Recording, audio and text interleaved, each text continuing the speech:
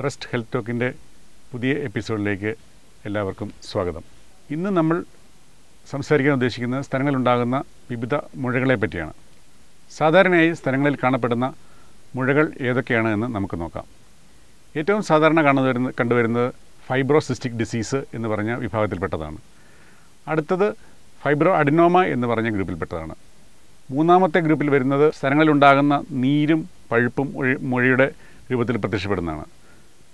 അടുത്ത ഗ്രൂപ്പ് എന്ന് പറയുന്നത് ഗാലക്ടോസിൽ അതായത് മുലയൂട്ടിയതിന് ശേഷം മുലയൂട്ടൽ നിർത്തിയതിന് ശേഷം സ്ഥലങ്ങളിൽ കാണപ്പെടുന്ന ഒരു പ്രത്യേകതരം മുഴയാണ് ഗാലക്ടോസീൽ എന്ന് പറയുന്നത്.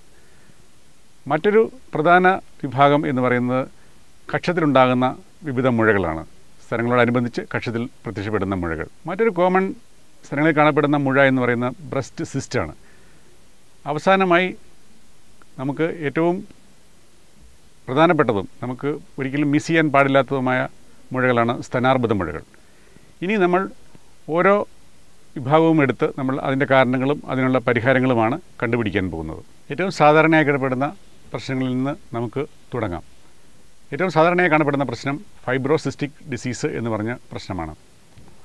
ഏതാണ്ട് ഇരുപതിനും അൻപതിനും ഇടയ്ക്ക് പ്രായമുള്ള അറുപത് ശതമാനത്തോളം സ്ത്രീകളിൽ കാണപ്പെടുന്ന ഒരു പ്രശ്നമാണ് ഫൈബ്രോസിസ്റ്റിക് ഡിസീസ്. ശരീരത്തിലെ സ്ത്രീ ഹോർമോണുകളുടെ അളവിലുണ്ടാകുന്ന വ്യതിയാനങ്ങളും ഏറ്റക്കുറച്ചിലുകളും അനുസരിച്ച് സ്ഥലങ്ങളിലുണ്ടാകുന്ന ഫ്ലൂയിഡ് നിറഞ്ഞ ബ്രസ്റ്റ് സിസ്റ്റ് എന്ന് നമ്മൾ വിളിക്കുന്ന സിസ്റ്റുകളും അതിനിടയിൽ ബ്രസ്റ്റിലുള്ള ഫൈബ്രസ് ടിഷ്യൂ കട്ടിപിടിച്ച് രണ്ടും കൂടി ഒരുമിച്ച് ബ്രസ്റ്റിൽ ഉണ്ടാകുന്ന ഒരു അവസ്ഥയ്ക്കാണ് നമ്മൾ ഫൈബ്രോസിസ്റ്റിക് ഡിസീസ് എന്ന് പറയുന്നത്. ഫൈബ്രോസിസ്റ്റിക് ഡിസീസിന്റെ ലക്ഷണങ്ങൾ എന്തൊക്കെയാണെന്ന് നമുക്ക് നോക്കാം. പ്രധാനമായും സ്ഥലങ്ങളിലുണ്ടാകുന്ന മുഴകളാണ് പ്രധാനപ്പെട്ട രോഗലക്ഷണം. രണ്ടോ മൂന്നോ മുഴകളായിട്ടാണ് സാധാരണ പ്രത്യക്ഷപ്പെടുക. രണ്ട് ഇരുവശങ്ങളിലുമുള്ള സ്ഥലങ്ങളിലും ഈ മുഴകൾ പ്രത്യക്ഷപ്പെടാം. എന്നാൽ ചില പ്രത്യേക അവസരങ്ങളിൽ ഒരു സ്ഥലങ്ങളിൽ മാ ഒരു സ്ഥലത്തിൽ മാത്രമേ ഈ മുഴകൾ പ്രത്യക്ഷപ്പെട്ടു എന്നും വരാം. ഈ മുഴകളിൽ വേദനയുണ്ടാകുന്നതും സാധാരണമാണ്. ഇതുകൂടാതെ സ്ഥലങ്ങളിൽ മൊത്തമായും ഈ ഫൈബ്രോസിസ്റ്റിക് ഡിസീസിനോടനുബന്ധിച്ച് വേദന ഉണ്ടാവാറുണ്ട് ഈ വേദന അനുഭവപ്പെടുന്നതിന് ഒരു പ്രത്യേകതയും കൂടി ഉണ്ടാവാറുണ്ട്. ഇത് മിക്കവാറും സൈക്ലിക്കലായിരിക്കും. സൈക്ലിക്കൽ എന്ന് നമ്മൾ പറയുമ്പോൾ നമ്മൾ ഉദ്ദേശിക്കുന്നത് ആർത്തവം അടുക്കും തോറും വേദന കൂടിക്കൂടി വരികയും ആർത്തവ ആരംഭത്തോടുകൂടി വേദന കുറയുകയും ചെയ്യും. മറ്റൊരു രോഗലക്ഷണം എന്ന് പറയുന്നത് സ്തനത്തിന് മൊത്തമായി ഒരു കല്ലിപ്പ് അനുഭവപ്പെടുക ഒരു ഹെവിനെസ് തോന്നുക. ഇത് രണ്ടും ഫൈബ്രോസിസ്റ്റിക് ഡിസീസിന്റെ രോഗലക്ഷണമായി കാണാറുണ്ട്. എന്നാൽ ഈ കല്ലിപ്പും ഹെവിനെസ്സും സൈക്ലിക്കിൽ തന്നെയായിരിക്കും. ആർത്തവം അടുക്കും തോറും ഈ ഹെവിനെസ്സും തടിപ്പും കൂടി വരികയും ആർത്തവ ആരംഭത്തോടുകൂടി ഈ ഹെവിനെസ്സും തടിപ്പും കുറയുകയും ചെയ്യുന്നു.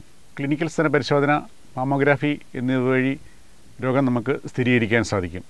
എന്നാൽ ചില അവസരങ്ങളിൽ എം ആർ മാമോഗ്രാമോ എഫ് എൻ എ സിയോ ചിലപ്പോൾ ഒരു ഇൻസിഷൻ ബയോപ്സിയോ ആവശ്യമായി വന്നേക്കാം. എന്താണ് ചികിത്സ? പ്രധാനമായും സ്തനാർബുദം ഇല്ല എന്ന് ഉറപ്പുവരുത്തുകയാണ് എല്ലാ പരിശോധനകളുടെയും ലക്ഷ്യം. ആർത്തവ വിരാമത്തോടുകൂടി ഈ രോഗം കംപ്ലീറ്റഡായി അപ്രത്യക്ഷമാകും. ചിലരിൽ എട്ടോ പത്തോ മാസം കഴിയുമ്പോൾ ഈ രോഗം തന്നെത്താൻ അപ്രത്യക്ഷമായി കാണാറുണ്ട്. ഇതിനെ സെൽഫ് ലിമിറ്റിംഗ് ഫൈബ്രോസിസ്റ്റിക് ഡിസീസ് എന്ന് നമ്മൾ വിവക്ഷിക്കുന്നു. സ്തനാർബുദം ഇല്ല എന്ന് ഉറപ്പുവരുത്തിയാൽ വേദന സംഹാരികളാണ് ഈ രോഗത്തിന്റെ ഏറ്റവും പ്രധാന ചികിത്സ. ഭക്ഷണ ക്രമീകരണം മൂലം ചിലർക്ക് രോഗശമനം ഉണ്ടാകുന്ന ഉണ്ടാകാറുണ്ട്. ഫാറ്റ് കുറഞ്ഞ ഭക്ഷണം കഴിക്കുക കാപ്പിയുടെ ഉപയോഗം ഒഴിവാക്കുക എന്നിവയാണ് പ്രധാനമായും നമ്മൾ ചെയ്യുന്ന ഭക്ഷണ ക്രമീകരണം. സ്ഥലങ്ങളിൽ കല്ലിപ്പ് ഹെവിനെസ് എന്നീ രീതിയിൽ പ്രസന്റ് ചെയ്യുന്ന ഫൈബ്രോസിസ്റ്റിക് ഡിസീസിന് കൃത്യമായ അളവിലുള്ള ഇന്നർവെയർ ധരിക്കുന്നത് രോഗശമനം ഉണ്ടാക്കും. ചില പ്രത്യേക അവസരങ്ങളിൽ ഫൈബ്രോസിസ്റ്റിക് ഡിസീസ് മൂലമുണ്ടാകുന്ന മുഴ പൂർണമായി നീക്കം ചെയ്യേണ്ടത് ആവശ്യമായി വന്നേക്കാം.